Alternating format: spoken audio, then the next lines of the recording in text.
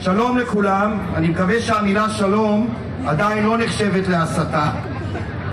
אני מבין שמשטרת בן גביר אה, החליטה להכין שלטים שכתוב עליהם די לטבח, אז אני אומר די לטבח.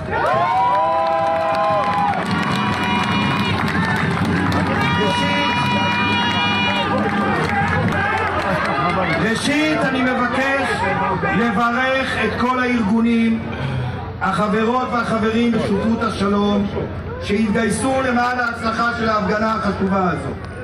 זה לא דבר מה בכך בימים טרופים אלה של הסתה, השתקה ורדיפה של מבקשי השלום. שאפו על האומץ והמחויבות לכולם. אני קורא לכל מתנגדי המלחמה להצטרף אלינו ליוזמת שותפות השלום. זה צו השעה. 106 ימים לטבח המחריד בנגב.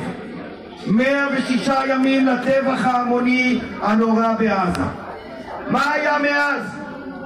כ-1,200 קורבנות בישראל, כ-30 אלף קורבנות בעזה, 70 אחוז מהם אזרחים חפים מפשע, כעשרת אלפים מהם ילדים, הרס וחורבן, מזוויעים, רעב, צמא, מחלות וגירוש המוני, זה לא טרנספר מרצון, זה טרנספר מרזון.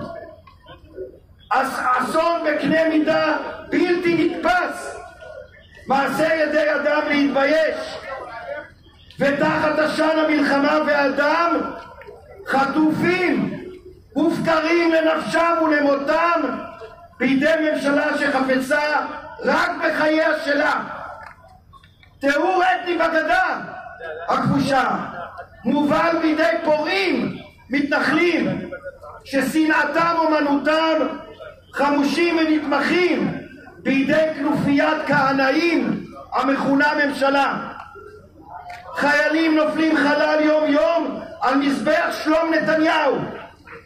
קריאות להשמדת עזה ועלתה כולה באש מפי שרים וחברי כנסת ושאר מינים אישים עד ליצירתה של תרבות רצח ממש.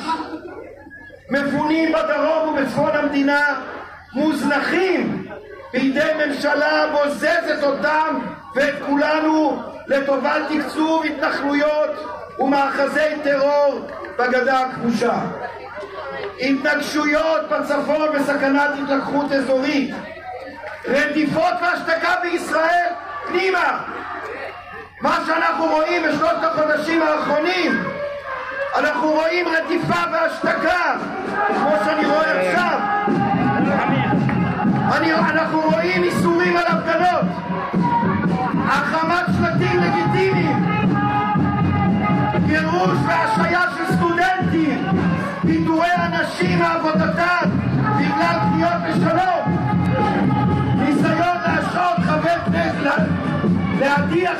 כנסת והשעיה של כמה חברי כנסת.